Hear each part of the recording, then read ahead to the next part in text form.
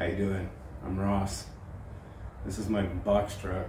Um, welcome to my journey.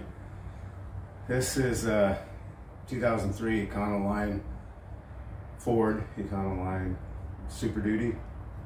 Uh, when I bought it, of course, being in 2003, it had a lot of issues. So a lot of rot in here, inside on the board. So I've replaced those.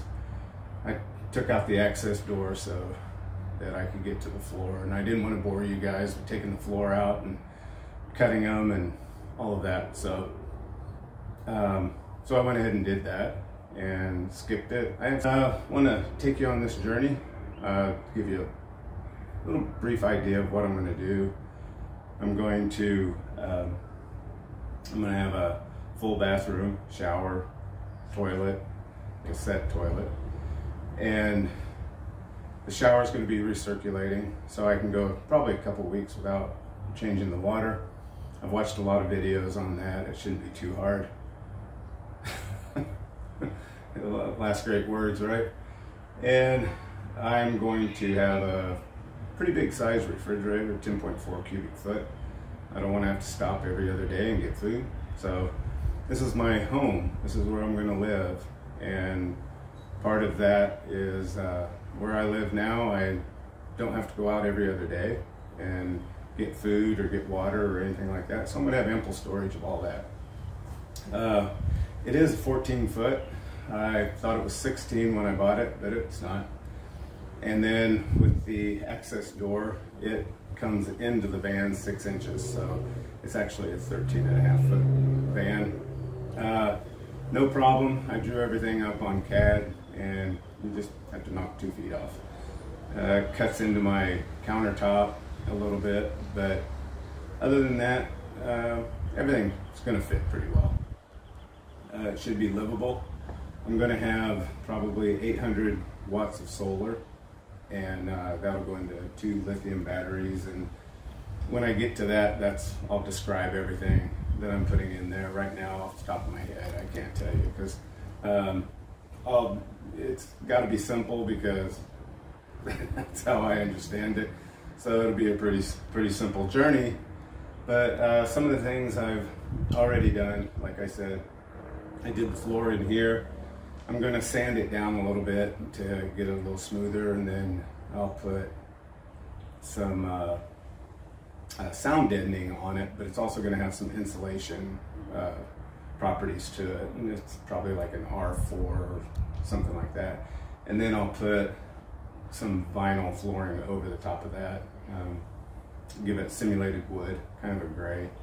And then as far as the walls go, I'll have a one inch foam insulation in there. I'll put some studs on there, one by twos. And uh, same for the ceiling.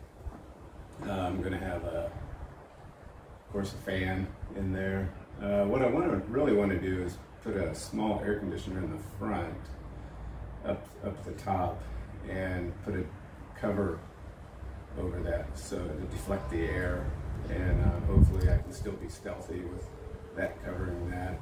And uh, anyway, just some things I'm thinking about. So let me give you a little tour of what I got so far, and we'll get this video done, and we'll start the fun stuff. Take care. Okay, as I said, I had to replace some of the boards. So here are some of them that I did. It was all rotted up here in the corner. Uh, of course, going back here, it was rotted up in that corner. And so I just took those whole boards out, came over here. Now this, this doesn't look good, but uh, it's, uh, that's just the way it is. It's the fuel access. Now you can see I put all these new bolts in. I had to drill new holes. Uh, that, of course, is going to go up under there for uh, fuel access. But I replaced one of those boards there.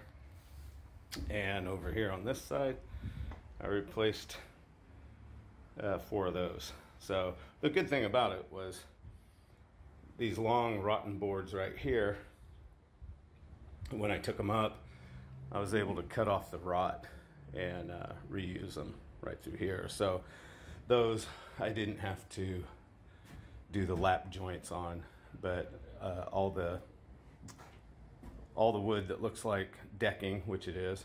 I had to do lap joints. And uh, as you can see in this picture here, I have a lot of light coming through. so uh, that's because whoever fixed it the first time didn't have lap joints. So I eliminated all that by putting the lap joints in. And um, so let's proceed around to the outside. Okay, it is quite sunny here in southwest Florida. But this is what I got so far. Uh, oh, and it's locked. Great. Uh, anyway, as you can see, I still got some cosmetic work to do on the wheels. Uh, it is a barn door type. So that's one thing I wanted. And the access door going through something I wanted as well. So if you come over here onto the fuel side, there's the, the fuel door that I redid. Uh, I sanded it all down and cleaned it up. Of course, the neck will come up through there and it'll look like new. Uh, all the wheels are like that. I got to get new tires for it. And uh, that's about it. I do have some, uh, a little bit of rust to get rid of, but other than that, I think we're good to go. Uh, next video, I should be putting the floor in. All right, see you then.